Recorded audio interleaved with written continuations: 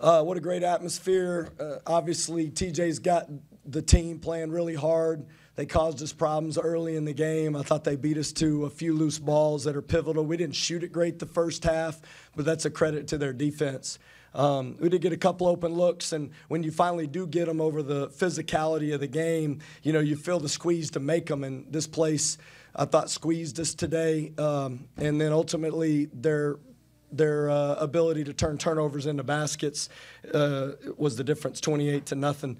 And not all of it was live ball. Some of it was live ball. Some of it was dead ball, and just our defense is improving.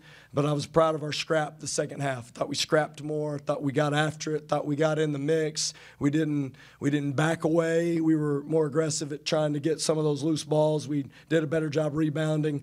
Uh, just little. It was too little, too late.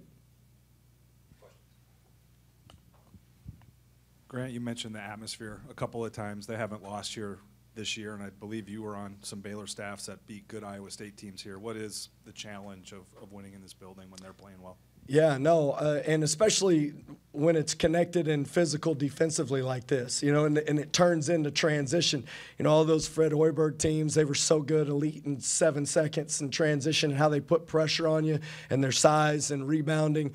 And it, it, you know, when you get out there and they start to move pieces, I just felt like uh, the defense that transitioned to offense wakes this place up, and their transition game was great.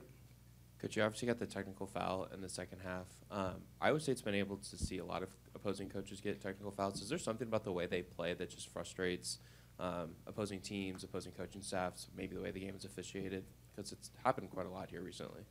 Yeah, honestly, I, I don't know anything about that, but I will tell you, I just respect the way they compete. You know, they play the game really hard. They they they make it difficult on you uh, as an offense to feel space, and you got to attack them. Is the way you have to do it, and the more you can attack them, the more you can put pressure on the basket. I did think we got to the foul line in the first half, just not enough. Coach, before the, the season started, um, where did you kind of peg Iowa State and, and, and why in the conference standings now? Um, honestly, I hadn't given it much thought, really. I just tried to concentrate on our team. And, um, you know, as we watch them improve, you got to respect the way they guard and the way they compete and the way they share the ball.